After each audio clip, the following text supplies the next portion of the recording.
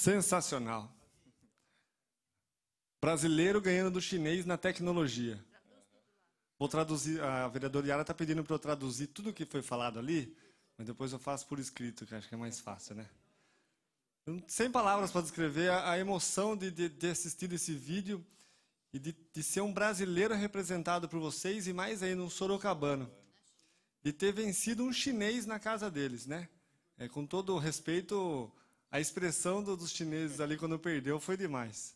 E você vê que é um, é um UFC, né? De, de, robô, né? Como é que é o nome do robô seu? Dark Wolf.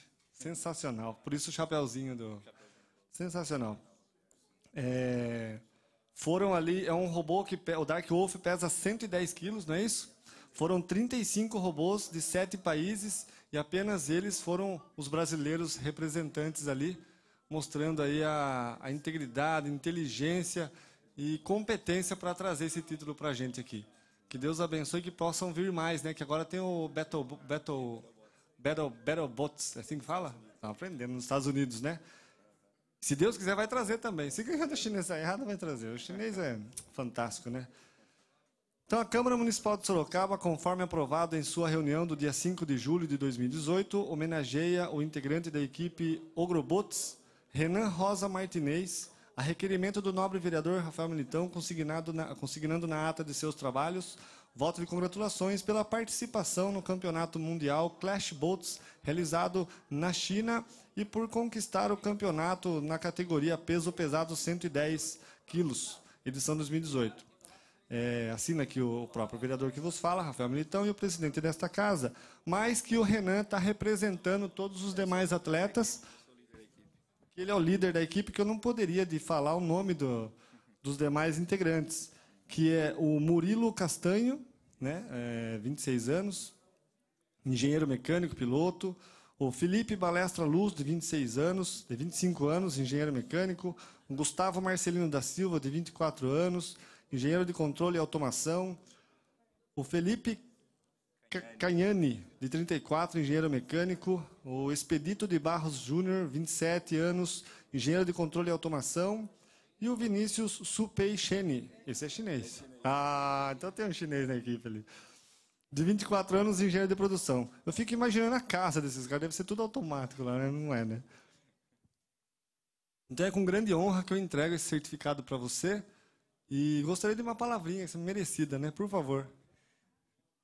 É, obrigado. É, primeiramente, eu agradeço aqui a casa, ao vereador Militão, por essa homenagem. A gente realmente não esperava, a gente só via os homenageados pela cidade, a gente nunca imaginou que a gente pudesse estar aqui. Mas é uma honra muito grande, porque isso daí para a gente é um hobby. A gente começou, eu comecei isso há nove anos atrás, competindo aqui no Brasil, depois fomos nos Estados Unidos, isso pela faculdade. É, tem tempo. E daí começou isso na faculdade, só que quando eu me formei, eu falei, eu quero continuar com esse hobby. É na Universidade Federal de Itajubá, em Minas Gerais. E daí a gente começou, quando eu saí, eu falei, quero continuar essa brincadeira, esse hobby. E daí eu criei essa equipe minha, a Ogrobots, que é aqui de Sorocaba. Eu comecei sozinho, só que eu peguei o segundo lugar no Brasil. Daí eu chamei meus amigos que também se formaram, a gente foi fazendo mais robôs, mais categorias. E daí a gente chegou, a gente foi para o Mundial e ficamos em terceiro lugar no Mundial, nos Estados Unidos. Daí eu recebi esse convite para a China. Daí a gente fez, a gente nunca tinha feito um robô desse tamanho, mas a gente usou a nossa experiência e o nosso feeling e fizemos esse robô e foi graças ao apoio, os próprios chineses bancaram, né, patrocinaram tudo, as viagens e tudo mais. Foram seis meses de competição, foram sete viagens para a China. Foi bem exaustivo, a gente ficou dividindo entre os membros. Eu não pude estar na final por causa de razões de trabalho, mas a gente chegar lá com 35 robôs, a gente ganhou dos Estados Unidos, ganhou da Inglaterra, ganhou da China, de vários países, da, também teve a Índia. E a gente ser o campeão, isso para a gente, até agora acho que não caiu a ficha ainda. é uma alegria muito grande. Muito obrigado por todos. Quantos anos você tem? O cara com 28 anos mostra que sim, o Brasil tem futuro, o Brasil tem jeito e isso alimenta a minha esperança. Muito obrigado, de verdade. Aqui o certificadinho. Eu quero falar para a minha assessoria. Estudou numa federal, tá vendo a vereadora Yara falando? Filma o Munquem ali, que ele gosta que seja filmado, Munquem ou Pedro. Queria pedir para a minha assessoria para agendar um dia que eu quero visitar pessoalmente para fazer uma foto com todos os integrantes junto com o robô. O Dark Wolf. Então, fazer uma foto com todos lá, fazer uma visita é, pessoalmente para a turma ali, tá bom? Tá, tá agendado. Chama os vereadores para fazer a foto. E muito obrigado de coração. Deus abençoe. Parabéns. Merecido. Super feliz. Convidamos os vereadores, Silvano Júnior, João Donizete, para a foto oficial.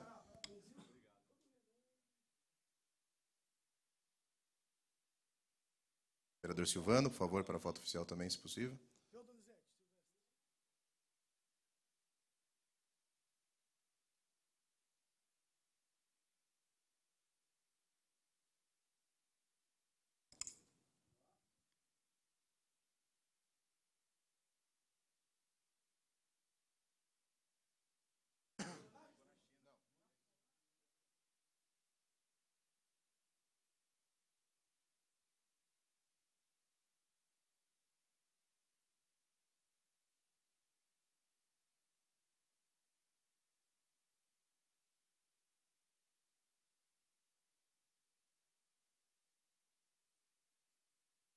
Na sequência, o vereador Silvano Júnior já está aqui para a entrega de votos de congratulações e convidamos o senhor jo João Alberto dos Santos e o senhor Miguel Donaire Martins.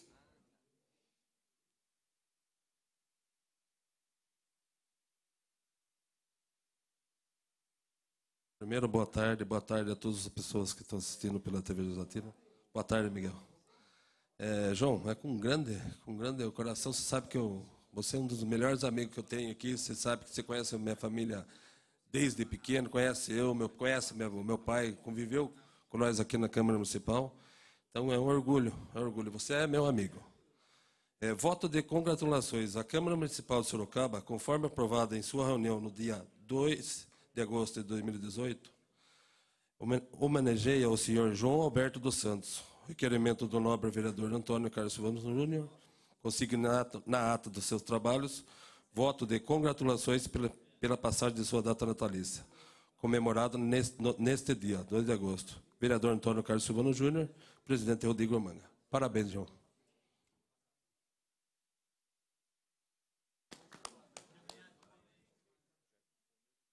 É, Miguel, com o mesmo teor, com a mesma honra, diz que você é diretor de esporte do Clube Neo Recreativo. Frequentei, acho que uns 30 anos ali. Quantos carnaval? Meu pai também. É com, a, com o mesmo teor, com a mesma honra, Miguel. Parabéns. É, só vou a data comemorada no dia 26 de julho. Parabéns, Miguel.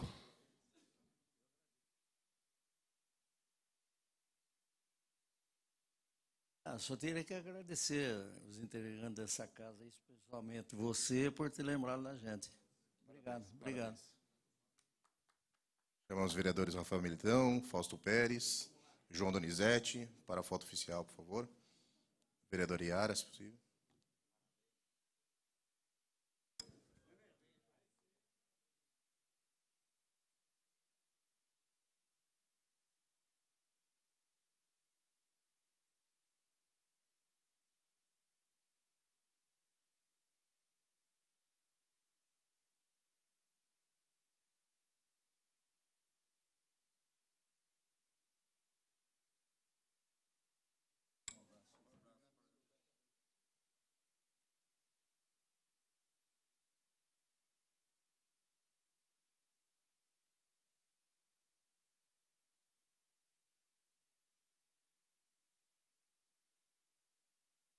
E para finalizarmos as homenagens de hoje, convidamos o vereador João Donizete para que venha à frente do plenário e o senhor Jonathan de Lima Lourenço para que receba voto de congratulações.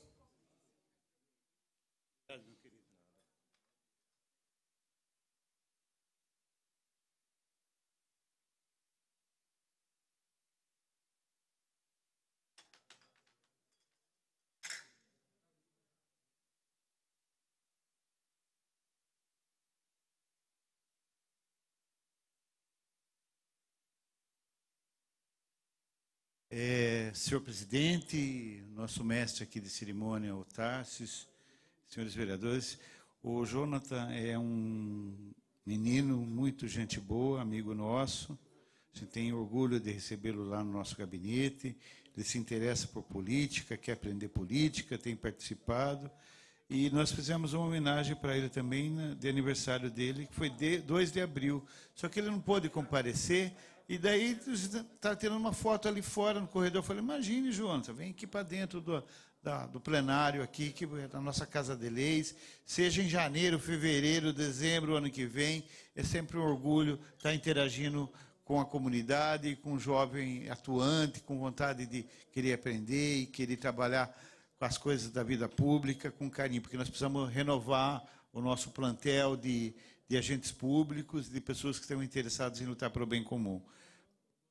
Foi 2 de abril, mas fica aqui os nossos votos de congratulações para você, 2 de abril, na data de hoje, sempre. Que Deus te abençoe, te ilumine, te guarde e que te dê sabedoria e que possa te orientar também para que você possa, se assim for desígnio dele, caminhar na vida pública também, prestando serviço em prol da comunidade. Parabéns, meu jovem. Convidamos o vereador Iara, o vereador Silvano, o vereador Fausto Pérez para a foto oficial, Rafa Militão.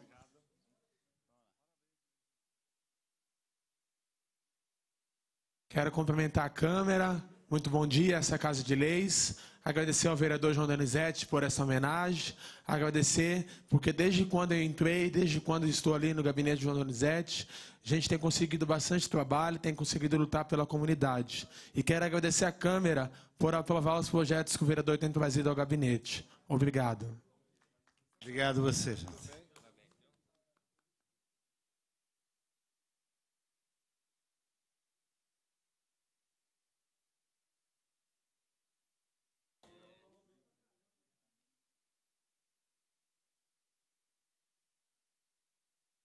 E no retorno dos trabalhos, ocupando a presidência, o vereador Fausto Pérez.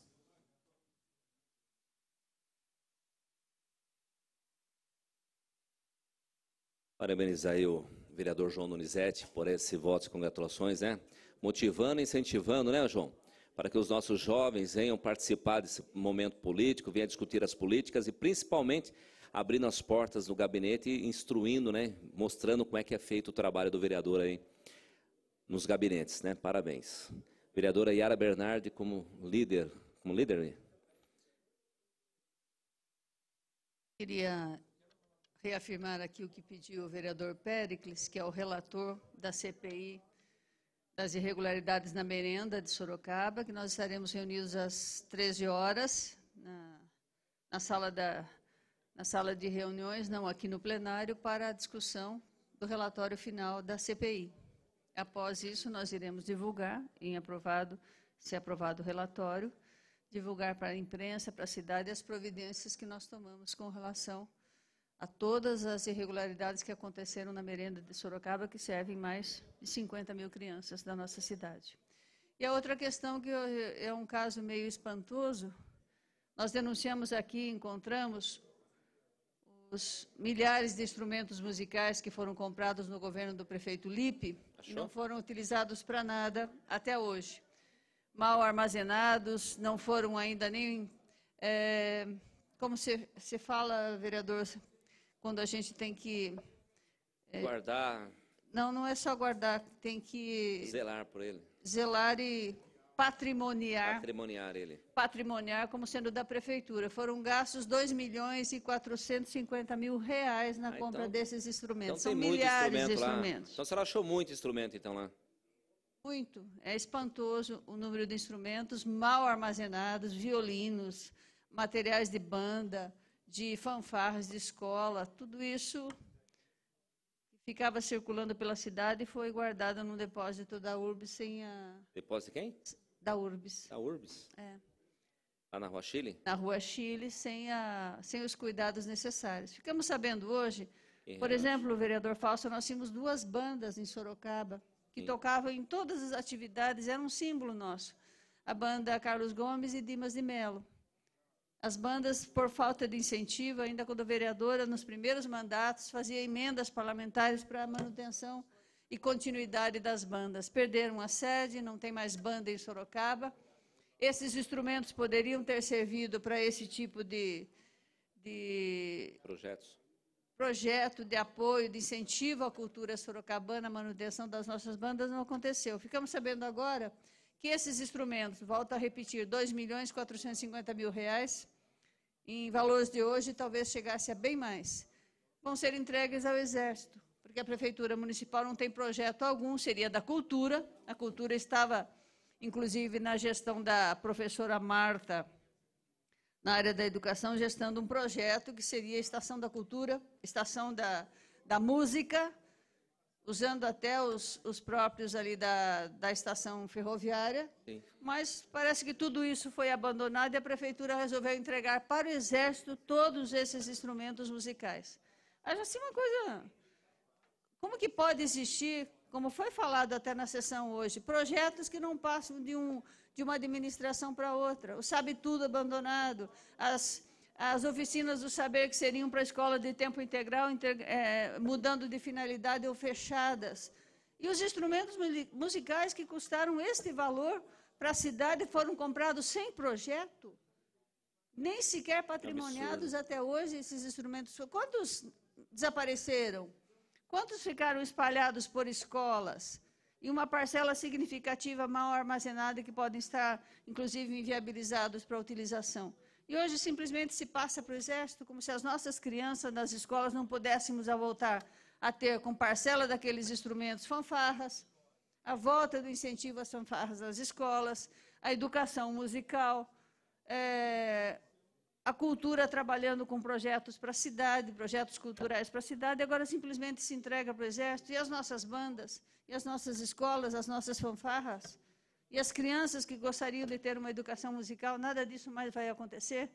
Olha, é fantástico o que se gasta, que se gasta com projetos que depois não têm a mínima Lembrando, tem o projeto Guri aqui em Sorocaba também, né, Yara? Projeto Guri, financiado pelo, pelo governo estadual, que trabalha com, com a música também. Mas parece que nada disso foi pensado. Vamos, de, de vez, nos desfazer de tudo isso, 2 milhões e 450 mil reais que foram gastos, sem continuidade de projetos. A gente tinha que estudar muito a questão do orçamento quando a gente aprova aqui, porque vem projetos assim, é, que depois como que um outro governo não vai dar continuidade?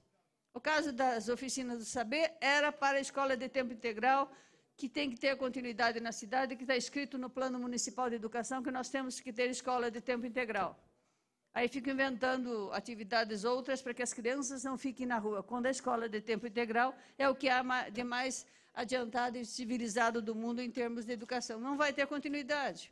Vamos cortando a escola de tempo integral e mudando os objetivos da oficina do saber. Sabe tudo, até agora ninguém ninguém deu uma solução, uma saída para aquelas estruturas que foram 32 unidades. 32 sabe-tudos que foram construídos nas escolas, abandonados, é, sendo depredados, não se, não se entrega para a escola poder desenvolver um projeto. E nem para a comunidade. E gastos e mais gastos e mais gastos.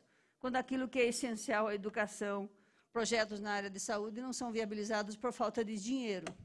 Então, esse, é, esse é o meu espanto hoje, se essa decisão de fato foi tomada de entregar os, os instrumentos musicais para o Exército, sem um mínimo de debate com a cultura, com o Conselho Municipal de Cultura, com a educação, para que eles pudessem desenvolver, já que os instrumentos foram achados, né? porque há muito tempo se sabia que estavam por aí, ninguém localizava como, como onde. esses documentos não foram patrimoniados, não dá para saber a quantidade total que era para ter de instrumentos. No início, no início, tem os valores. Os documentos todos já chegaram aqui por requerimentos que nós fizemos à Câmara. Mas tem esse instrumento espalhado por tudo que é entidade. Já foi doado para fulano, para o Exército, para o meninos do tiro de guerra, Entendi. tudo isso a gente ouve falar, tem um pouco na escola, mas uma imensidão que ainda não tinha sido utilizado para nada. Então, agora eu entrego para o Exército, não tem projeto de banda, eu estava pensando nisso, em tentar desenvolver com o apoio dessa casa. De novo, Sim. a cidade gostava demais, as bandas tocavam.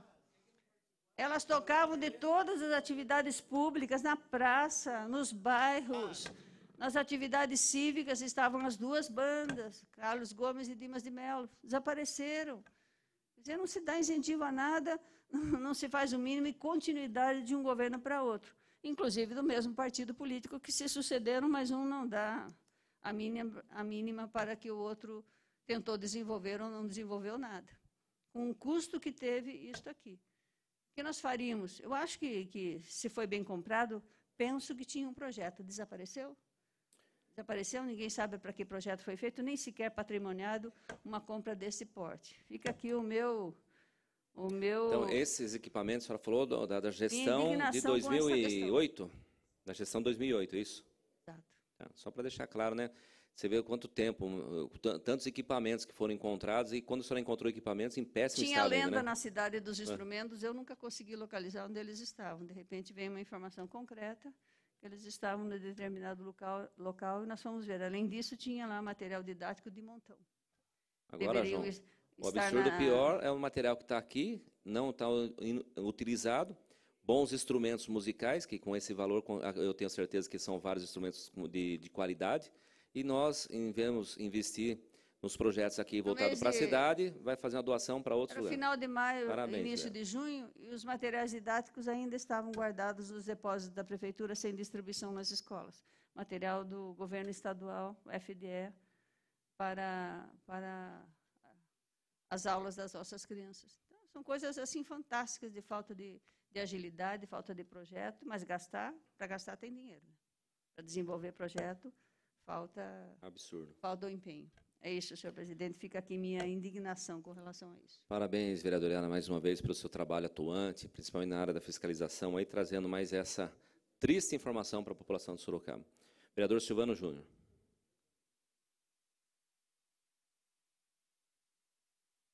É, boa tarde, boa tarde a todos. Olha, João, rapidinho, eu vou falar um negócio aí que está na garganta deste vereador.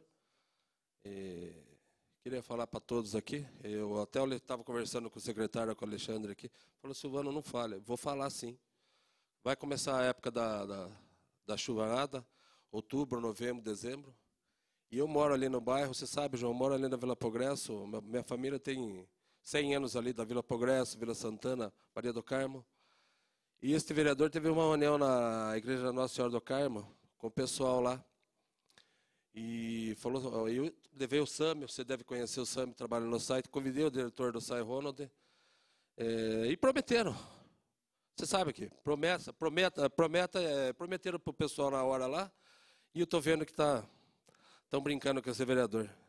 O meu pai teve 30 anos de, de, de vereador aqui, eu não sou bobo, acompanho meu pai. E eles falaram que ia levar a máquina, João. Para quem não conhece, Parque das Águas, você conhece, todo mundo conhece. Vai lá na beira do rio, o rio tem um banco de areia na margem, que o rio diminuiu, acho que 50, 70 metros. Não tem mais rio ali, a água passa. Qualquer enchente que der, vai, vai, vai, vai subir e vai e vai e vai dar enchente. Principalmente no Parque das Águas, um parque, um dos parques mais bonitos que, nem, que tem em Sorocaba. Principalmente na, na, na Maria do Carmo. E você sabe quanto, quanto é duro perder as coisas. Na hora lá, ninguém vai, político nenhum vai lá. Tá caro, ô, o cara perdeu a televisão. Não é isso, João? Perdeu a geladeira. Quantas pessoas não perdem tudo, João? E para você comprar de novo? Pra você comprar, não. Então fizemos essa reunião, João, e eu já tenho cobrado ele há meses. E só estão enrolando. Vou falar com o prefeito. E fala, secretário, eu, João, Fausto, tivemos voto. Nós somos cobrados, então vou cobrar o senhor. Se o senhor não fizer nada, se vocês estão prometendo, eu vou pegar o pessoal, de novo, repito, hein?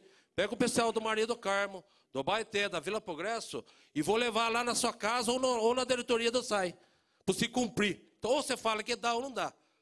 É isso, é isso que, eu, te- que eu teria que falar. Não, vereador, o senhor tá- o está coberto de razão. Tá, Essa preocupação é uma prevenção, até porque aquela região a gente já conhece o histórico E dele esse ali, ano né? aqui, o, Ali, o quando João qualquer Dene- chuva o João Donizete sabe, esse ano aqui foi uma estiagem, não choveu nada na cidade de Sorocaba.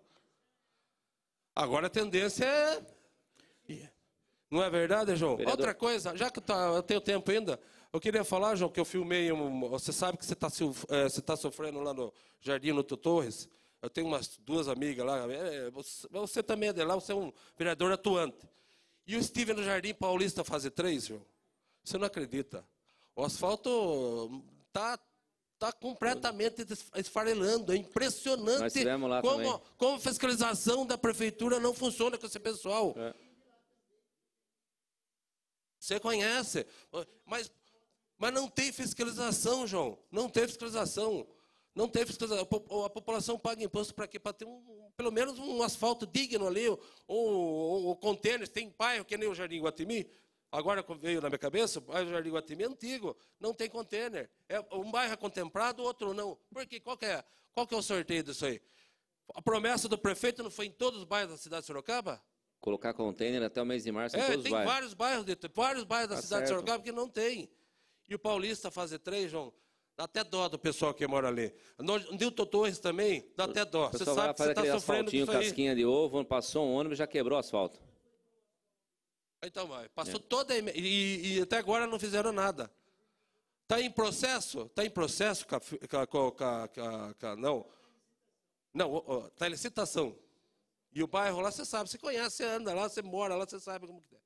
É isso, presidente. Até, é, Fausto, presidente do exercício, tenho dito, você se conhece Paulista, o João que é um Estive lá, gravamos vídeo, levamos essa mesma reclamação que o senhor está fazendo, né? levamos para a Secretaria da Serpo também, para cobrar lá. É que são situações diferentes. A do Paulista, realmente, a prefeitura tem que ir lá é, refazer alguma- algumas ruas dos cobrar o asfaltos. loteador, né? E do Não tem que Milton cobrar o Torres estava- loteador? Não tem um Não, o do- determinado o do Milton prazo, João, Torres, aí? sim. É. Cinco, Cinco anos, anos. garantia. É. Em um ano está acabado aquele o asfalto. asfalto. Sim. É, não. É. Abre um pouquinho lá só para o João falar. Tá bem, verdade mesmo. Fala, não, não, não. não. Não, é, eu, o que eu coloco é isso daí mesmo, é que se o loteamento está lá e está aprovado, é porque houve uma fiscalização por parte do poder público. Viu? Quem fiscalizou uma qualidade de serviço daquele, meu Deus do céu? Já viram aqui o Jardim do Passo? O absurdo O do Jardim do que fizeram aí. Passo. O absurdo que fizeram. Né? O absurdo. Newton Torres, Mas eu não peguei teve. 100% Mas não- das minhas João, emendas não teve e tive que João. entrar lá na- na- nas oito. Oito ruas não, porque no transcorrer dos anos nós fizemos já as 20 ruas. Porque anterior a essas oito ruas, lá há cinco, seis, sete anos atrás, nós fomos brigando para fazer uma, depois outra, de outra. Hoje sobraram oito ruas. Anterior a essas oito ruas, o prefeito Panúzio fez quatro ruas que é o entorno do ginásio de esportes e quase apanhou lá viu por ter feito e ainda bem que ele fez, porque senão se não tivesse feito aquelas quatro ruas, seriam 12 ruas para fazer, porque não, nós sabíamos que estava com uma dificuldade naquele período. Agora, viu, cadê a fiscalização para manter a qualidade mínima de serviço teve- dessa não pavimentação teve a asfáltica, fiscalização, gente? não teve a Então a fiscalização. culpa acaba ficando por conta da prefeitura, que deu o termo de vistoria de obra que estava ok, de uma qualidade de serviço de péssima, péssima, Péssima qualidade. qualidade. Péssima qualidade. Pa- Obrigado, João. Obrigado, presidente. Tenha dito. Parabéns, vereador. Bom, não tem mais ninguém inscrito para usar o espaço do líder do governo, nem o Pinga Fogo. Então, declaramos encerrada a sessão. Boa tarde a todos.